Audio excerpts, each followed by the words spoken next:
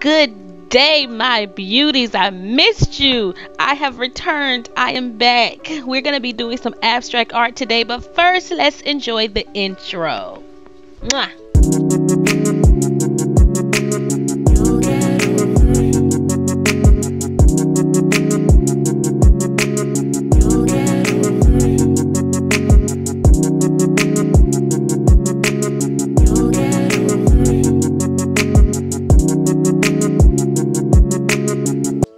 So today we're going to be using a palette knife, a paintbrush, a brayer. You're going to see me use it. It's like a silicone paint roller.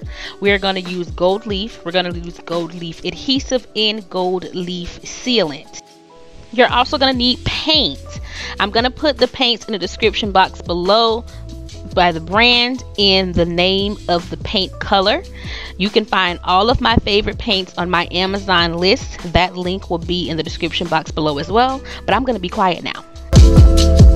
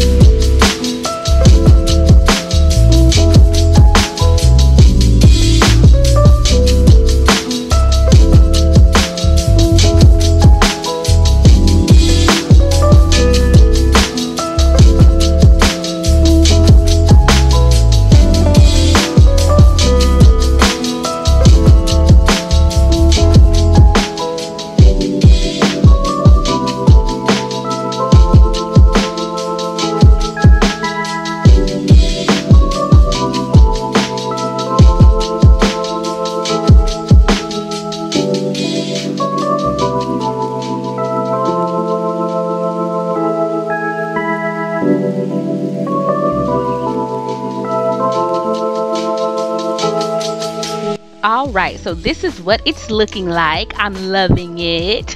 So this client wanted me to incorporate drippings. If you are familiar i did a abstract art a couple of months ago called pillow talk and i put white drippings in the left hand corner. She wanted that as well so i did off camera go and add some gold drippings to the painting as well.